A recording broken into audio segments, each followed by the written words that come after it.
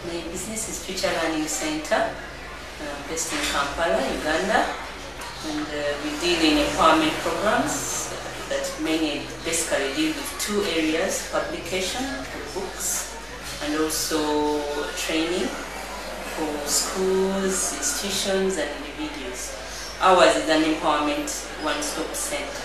We deal uh, um, with in different products, and some of the products we have is that we have books, for example. This one is a student reading guide, which is used in secondary and uh, university. And then we also offer short trainings, and these are some of our certificates uh, from the different workshops that we have conducted this. I think the Grow Movement Scheme has really been helpful. So with my Grow Business Consultant, uh, I discussed with him, and he, we noted that I needed first work on improving the operations of my business for thinking of expanding.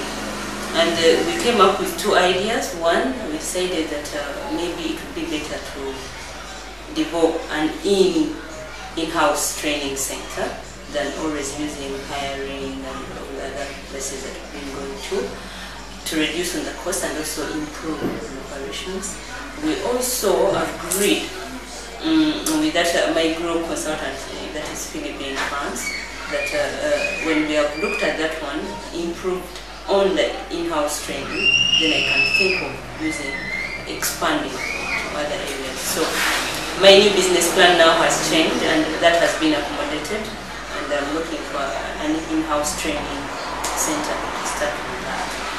I've also, through my group consultant in India, he was helpful in helping me establish an agent in India who is going to help me uh, reduce on the cost of printing, uh, especially the printing of books and other resource materials that we use because it is cheaper to print in India. So we have identified me an agent and we have started uh, a working arrangement on how best to deal with that. So I see myself growing uh, in, in terms of uh, looking at my business, being more focused, organized, and I've seen my profits increase to nearly 50% since I joined Grow.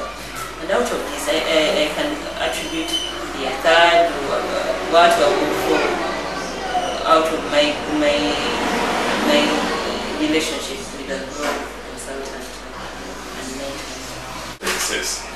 on the scheme, and you've had the experience of dealing with a consultant in France and India. So, from your point of view, did the um, sort of significant cultural differences have an impact on, on the scheme for you? And also, was the fact that they weren't actually in Uganda did that did that make a difference? Yeah, there's always a difference in, uh, in terms of so, uh, I say the accent. From Uganda, for example, is a developing country, and maybe you have a consultant in a developed country. The way they do business in France may not be the way business is done in Uganda. The different challenges, but uh, we that has been harmonized through the discussions that we have.